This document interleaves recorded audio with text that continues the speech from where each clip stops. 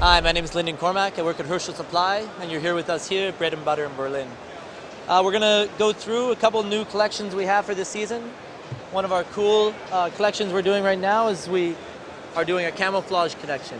All the camel range is using Cordura fabric. Internally, inside the bags, we're using our really nice cotton lining, so blue and white striped pop cotton lining. That goes through all the bags. We took all a lot of our top silhouettes, including the Heritage, our varsity bag, our new 18 bag, to the new over-the-shoulder bag or a hip sack.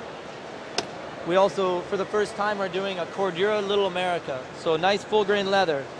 We've switched all the buckles now on our Little America to be magnetic closures, so they all just flip up. So although they look like they're uh, functioning uh, belting straps, it's really nice little uh, magnetic closure there. So that's the Little America, one of our better selling bags right now.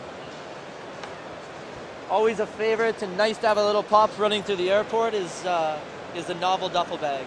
With the Novel, you have the convenient shoe pocket on the side, so a little place to put your shoes away, keep them away from your clothes. And uh, it's our first time to Berlin and first time at Bread and Butter, and we're having a great time.